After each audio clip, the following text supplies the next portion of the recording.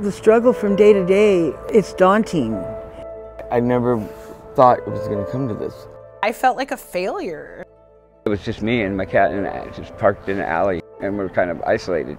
You get depressed, you get sad because you think nobody cares. It's hard for people to ask for help. You know, that's just the way it is.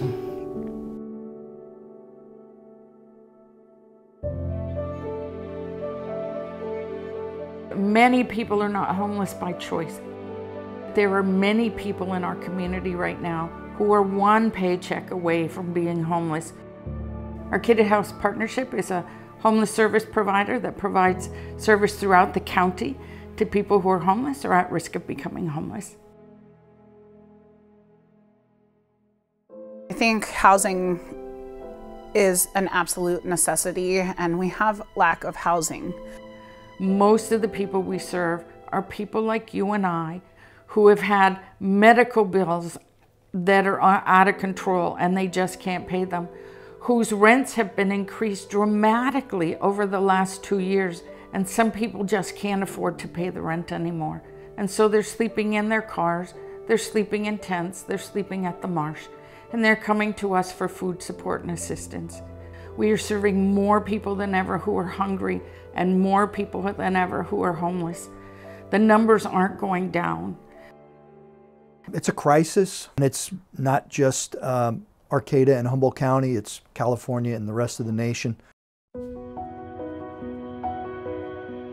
Homelessness is an environmental issue, a healthcare issue, a business issue, a tourist issue.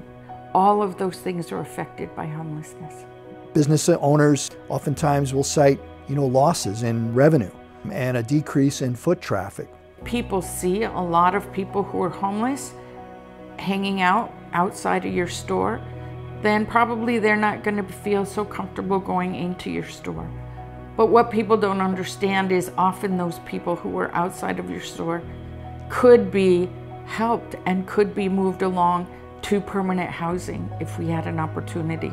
So, you know, there's certainly a financial impact, there's a, an impact on a feeling of safety and security, uh, and there's a, just an overall impact on the health and vitality of our city.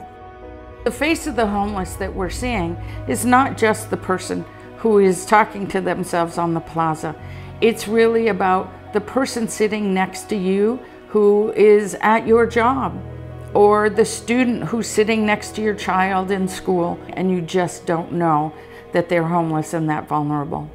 A huge part of our houselessness in our community is students. Oftentimes they end up in their cars.